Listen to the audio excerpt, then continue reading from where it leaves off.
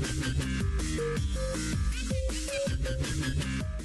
Hello，大家好，欢迎收看八分电影。今天给大家介绍的电影是《神探夏洛克》第一季第一集。作为评分高达九点三的 BBC 神剧，《神探夏洛克》受到了无数粉丝的追捧。每一季都十分短，基本上只有三集，但是每一集的剧情又异常精彩，每集都可以独立成一个小的单元，是喜好侦探剧的粉丝们不容错过的经典。故事一开头就是案件的发生，伦敦发生了一系列的连环自杀案件，而死者都是服用了有毒的胶囊。因为警察怎么侦查都是自杀，所以警方不得不向夏洛克·福尔摩斯求助。夏洛克·福尔摩斯是一位侦探顾问，可以说前期刚刚出现的夏洛克十足的酷，甚至有些神经质。他对于整个世界都是十分的客观理性的分析，并且崇尚着紧张和刺激的生活。而他帮助警察的目的，很明显的就可以看出来。他对于案件的发生十分的开心，别人可能要骂一句神经病，但是他就是期待着这样的刺激。华生一出场就是拄着拐杖，颜值看起来也没有很高。因为合租房的原因，华生和夏洛克相识了。夏洛克需要一个助手，而华生作为军医。一个侦探，一个军医，十分的合拍。而且华生的瘸腿虽然是心理上的问题，但却并不是害怕过去发生的战争留下的阴影，而是在怀念战争中的惊险。华生也是一个刺激的寻求者，所以他才答应了夏洛克的侦探助手的要求。可以说两个人的表现形式虽然不同，但是他们的骨子里都一样的疯狂。夏洛克推理的时候，每一步都异常的巧妙，又切中要害，看起来确实是天才中的天才。